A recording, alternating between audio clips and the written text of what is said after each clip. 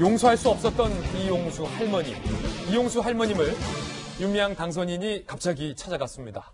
무릎 꿇고 눈물까지 흘렸다고 합니다. 이용수 할머님은 뭐라고 얘기했을까요? 그 장면부터 오늘 김진의 돌직구쇼는 살펴보겠습니다. 이용수 할머니 찾아서 무릎 꿇은 윤미향. 지난 19일 밤 예고 없이 이용수 할머니가 머물고 있는 대구의 한 숙소에 윤미향 당선인이 갑자기 찾아온 거죠. 갑자기 무릎 꿇고 죄송하다 용서해달라. 그러자 이용수 할머님이 참 그래도 할머님이 마음이 여리셔요. 손을 잡고 의자에 앉아라. 무릎 꿇지 말고. 내가 용서할 게 무엇이냐? 다른 것은 법에서 심판할 것이다. 이러면서 너가 용서를 구할 것은 무엇이냐? 라고 물었다라고 합니다. 그리고 윤미향 당선인과 동행한 분이 복도에 있었다고 하는데 그분에게 따라다니면 무슨 수작이냐?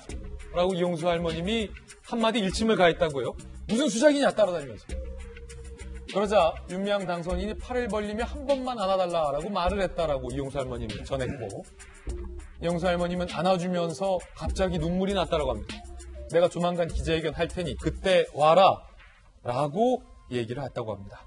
이를 두고 일부에서는 이용수 할머님이 윤미향 당선인을 용서했다. 윤미향 당선인이 이용수 할머님부터 용서를 받았다. 라는 식의 기사가 잠시 나오기도 했습니다만 이용수 할머니는 나는 용서한 적 없다. 라고 분명히 뜻을 밝혔습니다. 이유도 되지 않고 무릎 꿇고 용서 빚는데 뭘 용서하란 말이냐. 이게 핵심이겠죠? 윤미향 당선인이 울었지만, 무릎 꿇었지만, 무슨 이유로 사과를 구했는지에 대해서 밝히지 않았다는 겁니다. 과연 이걸 진정한 사과라고 볼 수 있을까에 대해서 오늘 아침 논란이 되고 있는 거고요. 난 용서한 게 없다. 라고 이용수 할머니가 말을 했습니다. 한국일보와의 인터뷰에서 이용수 할머님은 원수도 아니고 한번 안아달라고 해서 안아준 거다. 30년의 세월이 떠올라서 눈물이 흐르는 것 뿐이다. 화해하라고 해석한 건 이해가 안 간다. 결코 화해나 용서가 아니다라고 얘기를 했고요.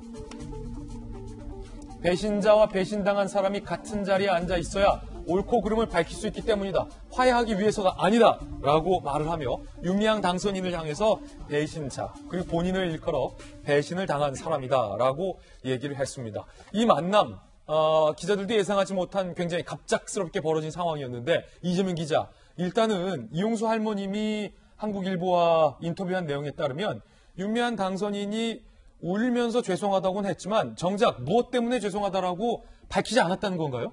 그렇죠. 그러니까 이용사 할머니 입장에서는 도대체 뭘 자, 잘못했는지 정확하게 얘기를 해라 이제 이런 의미였던 것 같은데 예. 아까 전에 이제 김진 앵커는 굉장히 마음이 여리신 것 같다 이렇게 얘기했지만 다- 한편으로 봤을 땐 굉장히 단호한 그런 발언도 했- 했죠. 그렇군요. 그러니까 도- 도대체 네가 뭘 잘못했는지 모르겠다. 또 내가 뭘 용서했는지 모르겠다. 사실 여기까지 왔기 때문에 이제는 법을 해결할 수밖에 없다. 이 얘기는 굉장히 어떻게 보면 무서운 얘기죠. 수사로 가야 된다. 지금까지 너가 했던 잘못들을 법적으로 처벌받아라 이런 얘기고 또한 얘기 아까 전에 한국일보 인터뷰에 나왔지만 25일 날 이용수 할머니가 다시 한번 2차 기자회견을 예고해 놨는데 거기에 너도 와라 윤명 당선자한테 얘기했습니다. 이유가 뭐냐면 배신자와 배신을 당한 사람이 한 자리에 같이 있어야 사람들이 옳고 그름을 알 수 있다. 이거는 어떻게 보면 정대협과 정의연이 지금까지 일본 정부에게 끊임없이 요구했던 진심 어린 사과 이걸 의미하는 것 같은데 아, 오히려 결국 윤미한 당선자에게 이렇게 갑자기 와서 무릎 꿇는 건 아무 의미가 없다.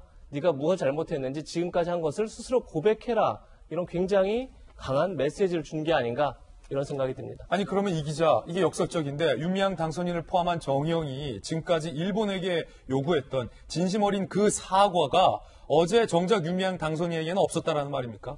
그렇게 볼 수 있겠죠. 그러니까 내가 이러 이러 이러한 점에서 잘못했습니다 이렇게 얘기하는 게 아니겠죠. 그냥 물론 만남 자체가 5분에서 10분 정도 그냥 짧았기 때문에 뭐 구체적인 얘기를 할 수 있는 그런 시간이 아니었을 수 있지만 어쨌든 갑작스럽게 와서 갑작스럽게 무릎 꿇고 그냥 사과를 비니까 아마 이용수 할머니 입장에서는 이제 지난 30년간 굉장히 오랜 인연에 대한 그런 뭐 어, 애- 어, 애틋함 이런 것도 있었겠지만 어떻게 보면 그 긴 시간 동안 가장 어떻게 보면 유명한 당사자를 잘 아는 게 이용수 할머니일 텐데 예.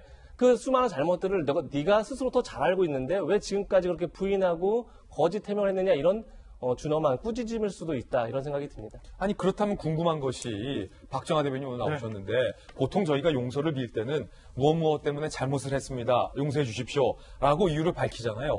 이유도 밝히지 않고 윤미향 당선인이 눈물을 흘린 이유는 무엇이며 갑자기 이용수 할머님이 만나줄지 했다는 얘기도 없는데 찾아가서 무릎을 꿇은 이유는 무엇이고 이유를 대라는 요구에 응하지 않으면서 한국일보 보도에 따르면 안아달라고 요청을 한 이유는 무엇일까? 좀 궁금합니다. 이건 뭐 순전히 제 해석이에요. 제 해석인데 그동안 윤미향 당선인과 이용수 할머니의 오고 가고 한 이- 내, 이제 내용과 얘기를 보면 서로 간에 그 이용수 할머니가 말씀하시고자 하는 내용과 윤미향 당선인이 하고 이 해명하는 내용이 전혀 핀트가 맞지 않은 내용들이 많이 네. 있어요. 그리고 그동안 몇 번의 보도를 보면은 윤미향 당선인이 이용수 할머니를 뵙기 위해서 심지어는 여기저기를 찾아다니면서 미랑까지도 지금도 그 19일 날 그저께 만났던 장소가 대구에 있는 모 호텔인데 이용수 할머니가 그 취재진과 뭐 관계자들을 피해서 지금 그 사찰과 호텔 등을 이제 전전긍긍 하고 계시는데 제가 볼 때는 어딘가 보여주기 위해서 그러니까 진심으로 어, 윤미향 당선인이 이용수 할머니에게 무언가 용서를 구하고 무언가 얘기를 하고 말씀을 드리러 저런 만남을 만든 게 아니라 저는 유미양 당선이 여전히 뭔가를 숨기기 위해서 그리고 이용수 할머니와 만남을 통해서 국민들한테 다른 무언가의 메시지를 주기 위해서 억지의 만남을 연출을 했다라는 생각이 듭니다. 그래서 예. 그 이용수 할머니가 복도에 있는 그 측근한테 왜 자꾸 따라다니면서 무슨 수작을 하느냐라고 말씀한 것도 저는 이용수 할머니가 무언가 이 윤명 당선이 나한테 온 게 진심으로 무언가 용서를 구하려고 온 게 아니다라는 생각을 저는 해석을 합니다. 그래서 윤명 당선이 그저께 이용수 할머니 찾아간 건 저는 진심 어린 사과를 위해서가 아니라 국민들한테 보여주긴 무언가의 또 다른 또 다른 제스처, 또 다른 뭐 격하게 표현하면 쇼다라고 저는 개인적으로는 해석을 합니다. 예, 물론 아직 윤미향 당선인 스스로 입장이 나오지 않았기 때문에 어, 패널의 개인 의견이라고 말씀을 덧붙이고요. 궁금한 건 김영주 의원님 지금까지 이용수 할머님에 대해서 아주 이 사건 초기에 일부 정의원 측에서는 할머님의 기억이 뭐 온전치 않다. 할머님의 정신이 성치 않다 라는 이야기도 나왔었는데 지금 오늘 이 장면에서 저희가 느낀 바로는 할머니네 기억이, 할머니네 정신이, 어, 글쎄요. 어느 때보다 더욱더 지금 분명하지 않는가라는 느낌도 들거든요. 네, 그렇습니다. 실질적으로 이제 지난 30년이라고 하는 것은 윤명 당선자가 간사로 있었던 92, 92년이라고 치면 28살 때 윤명, 그리고 28년이 지난 오늘의 56시대에서 국회의원 당선자가 된 윤명을 30년 보는 자기 밑에서 심부름 하던 아이가 어느 순간 모든 것을 장악하는 그래서 모든 결정권은 나한테 있다라고 얘기하는 그런 부분을 보면서 배신당한 느낌. 그러니까 우리의 목소리는 전혀 바로 시중 들던 사람이 우주의 목소리를 전혀 들어주지 않는 사람. 지금 뭐 말하자면 가마솥에 물이 끓고 있는데 어. 지금 윤미향 당선자가 간 것은 찬물 몇 바가지 퍼는 정도로 가지고 용서를 구한다는 건 말이 안 된다. 무슨 뜻이냐 하면 밑에 불을 빼야 된다. 그 불이 뭐냐? 국회의원 배지 내려놓고 내려가야 된다는 거예요. 아. 지금 내려가는 의미는 뭐냐면 내가 국회의원 달 수 있게 조금 더 말씀을 좀 자제해 주십시오. 제가 잘해 드릴게요. 그건 용서를 구하러 온 자세가 아니다. 선우가 안 돼. 이건 용서할 게 안 된다라고 하는 부분은 자기가 생각할 때는 이것은 법적으로 가서 이미 당신은 국회의원도 아니고 아무것도 아닌데 아직도 뭘 그걸 하려고 지려고 나를 만나러 다니느냐. 음. 이런 부분입니다. 정확하게 음. 얘기하면.